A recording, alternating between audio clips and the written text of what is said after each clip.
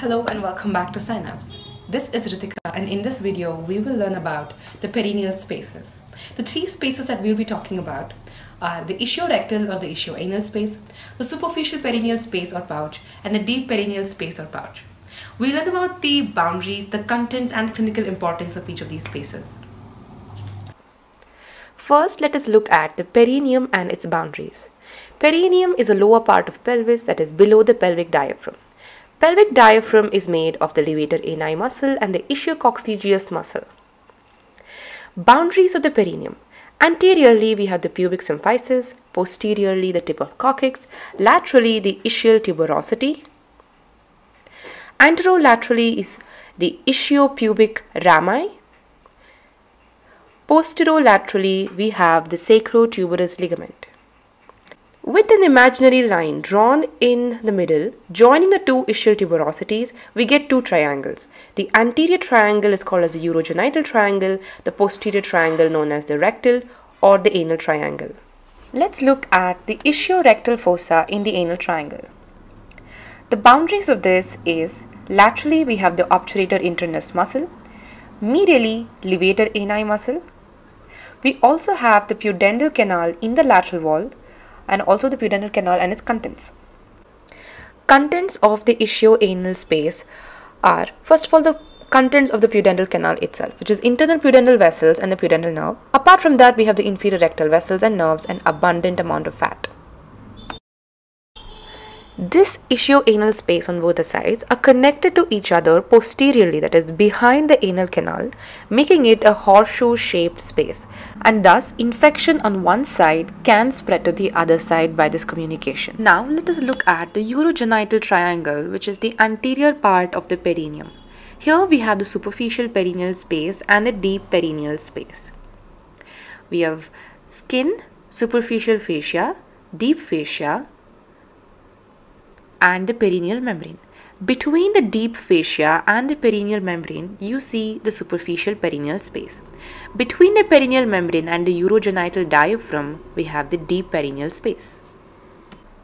So now we know that deep perineal space or pouch is between the urogenital diaphragm above and the perineal membrane below. Here we have the membranous urethra, which is surrounded by sphincter urethrae muscle now let's look at the, all the contents, okay? So one that we've already enumerated is the membranous urethra, the sphincter urethral muscle. Another muscle that we see here is the deep transverse perineal muscle. We have the terminal branches of the internal pudendal artery, which include the deep artery of the penis or clitoris, so penis in males, clitoris in females, dorsal artery of penis or clitoris, and the artery to the bulb of penis or clitoris. The dorsal nerve to penis or clitoris. And we also have the Cowper's or the bulbourethral gland in males, the vagina and the urethra in case of females. So here we have discussed about the urethra, the two muscles, the arteries, the nerve and the gland contents of the deep space. Let's look at a scenario of damage to the membranous urethra as seen in straddle injury. In such a case, the urine is going to dissipate into the deep perineal space and the space surrounding the prostate and the urinary bladder and this space is called as a space of Retzius. Superficial perineal pouch. We know that this is situated between the deep fascia and the perineal membrane. Now let us look at a diagram drawn um, of the superficial perineal pouch in males first. We're drawing the ischial tuberosity, the pubis. Connecting the two, we have the ischiopubic rami, which forms the boundary of the superficial perineal uh, or the perineum itself.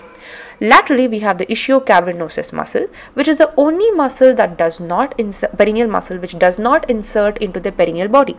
In the center, we have the bulbospongiosus muscle, which is inserting into our perineal body which is a fibromuscular band which receives the insertion of all the perineal muscles except ischiocavernosus as already mentioned.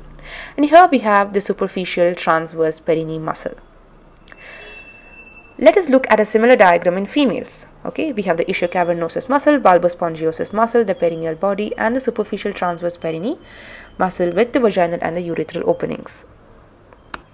Contents of the superficial perineal pouch include the three muscles that have already been enumerated, the terminal branches of internal pudendal artery, which is already elaborated in the previous topic, dorsal scrotal or the labial artery, uh, that is vessels and nerves.